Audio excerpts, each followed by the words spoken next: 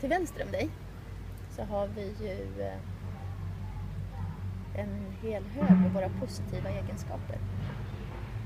Och igår när vi hade fått upp eh, drömläget och vi hade visionen där så, så tog vi faktiskt och, och först så, så jobbade vi på egen hand och listade upp, tog ett sånt där notisblock och så Tycker jag själv, vad har jag för positiva egenskaper som faktiskt kan hjälpa oss att ta oss till visionen?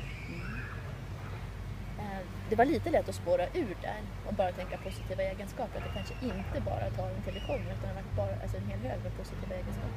Och sen presenterade vi ju dem för varandra.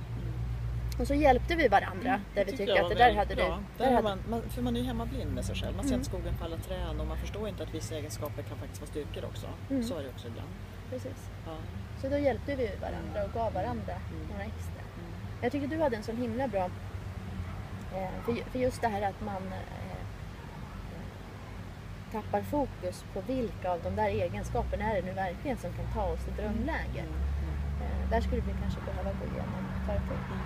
Vad tänkte du om den övningen som vi gjorde? Eh, ja, alltså det är alltid boostande att lyfta fram sina styrkor och att bli liksom positivt, ta på de glasögonen för en själv för det första. Men att också mm, jag tror att det blir nästan, vilka av de här egenskaperna kanske är det jag, som leder till målet är det intressanta faktiskt. Och jag tror också att det, det kräver ett varv till som du sa. För det är kanske inte det jag tror är det som leder. Det kanske inte är driven som är den egenskap som kommer att få mig att lyckas med det. Utan det kanske är någon mjukare eller apartare eller konstigare grej som gör att man faktiskt uppnår det. Så att, ehm, jag vet inte vad jag ska säga. Nej.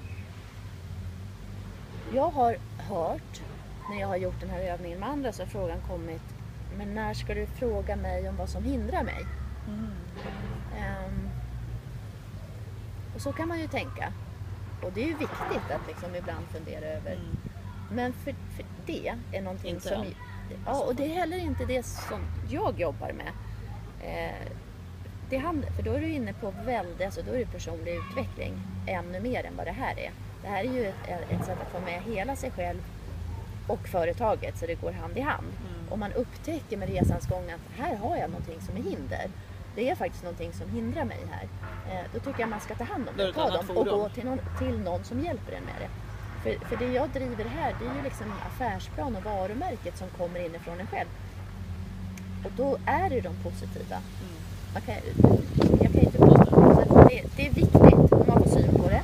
Och det är viktigt att ta hjälp med, av, av det. Eh, Om man inte driver själv. Men det är också inom ramen för det här arbetet. Ja, men då är det jättebra att lyfta fram de positiva egenskaperna och få fram dem på kompetensen. Så senare så nu har vi ju en eh, stor lista där med massor med fantastiska egenskaper. Jättefint. Och jag tror att det är lika mycket att man, för att det blir också en personlighets faktiskt aspekt och arbetande rent terapeutiskt också att lyfta fram de starka sidorna hos en. Så att på så vis så fyller det sin funktion här också. Ja, att man startar ett positivt tänkande, Ja, alltså en ja. positiv spiral. För det är så lätt att vi det. kommer där när det går inte, jag kan inte, och man, hit- utan Mm. gör det här som är bra. Jag har ju en, alltså en tanke, det finns ju det här, alltså, om, om jag säger jordgubbe till dig, Mm. eller tänk inte på jordgubbe, Ja. sagt, vad tänker du på då? En rosa elefant. Nu sa du fel. Ja. Men det är ju det där att om man, liksom, om man ska sluta att röka eller snusa, om man då liksom hela tiden och tänker på att jag ska sluta med det. Alltså det gäller ju att flytta sig från det och fylla på med någonting nytt. Som, och det är det liksom hela min tanke med det här. Det är att Ja. inte ha fokus på det som hindrar en och det jag inte kan utan liksom börja fylla på med någonting som har en positiv riktning. Så tänker jag. Mm. Nej, men det här är en till, den här övningen är en till det här perspektivet på elefanten där vi leder till slut till drömmålet, Mm. visionen. Så att det, nu blir det i mig istället för att... Så att ja. Ja, det kommer inifrån. Ja, men eh, vi kommer tillbaks om hur vi sen väljer värderingar.